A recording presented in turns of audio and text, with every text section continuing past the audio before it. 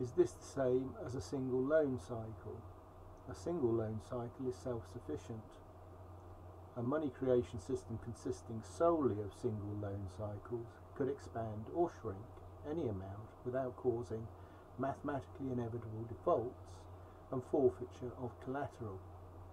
This model fails to explain why, in the real world, shrinkage causes defaults. Single loan cycle, principal created and spent, money created as debt, principal paid and extinguished, interest fully recycled as bank spending.